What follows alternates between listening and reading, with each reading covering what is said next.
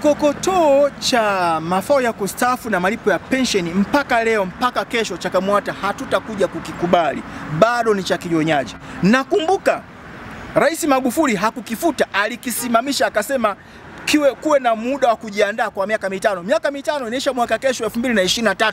Sasa kinakuja ama hakiji ni vinginevyo, lakini si cha KAMWATA tunajua bado kiko hai, kwa sababu baada ya pale tumefuatilia ofisi ya waziri mkuu, wizara ya kazi, ambako ndio watengenezaji wa haya mambo. Tulikutana katibu mkuu aliyepita anaitwa bwana Andrew Masawe akasema hawana mpango wa kupeleka mswada wote bungeni kurekebisha kanuni wala kushirikisha wadau wala kukonsida maoni yote ambayo CHAKAMWATA tulishayatoa kwa sababu hakijafutwa, ila kinasubiri muda tu kwamba watu wafanye warm up kidogo, wajiandae kwa maumivu hayo. Kwa hiyo hatukikubali na hatutakuja kukikubali, na sio koto peke yake, viko vitu vingi sana ambavyo hatukubaliani navyo.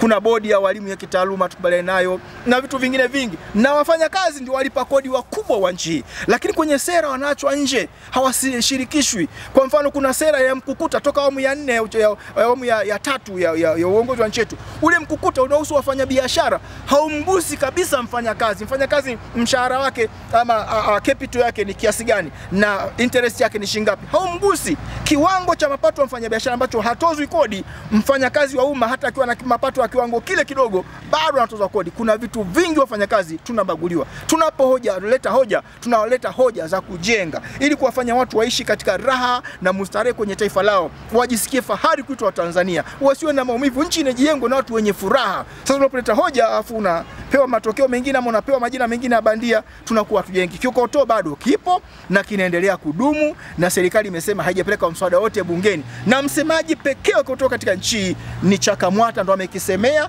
na kukifafanua vizuri sana. Ingia kwenye mitandao, utaona spichi zetu, utaona ufafanuzi wetu, na hakuna chama cha wafanyakazi wala tukta aliyethubutu kukifafanua kwa jinsi hiyo kama tulifafanua sisi mpaka nchi ikaelewa. Na tulipotoa ile hoja kwa ndani ya wiki mbili tu, Magufuli akaitisha, Rais Magufuli akaitisha kikao Ikulu kwenda kujadili, ndio akasema sasa, hebu kiende likizo kwanza, miaka mitano itokee ya watu kujiandaa, na itategemea mifuko itakuwa na hali gani.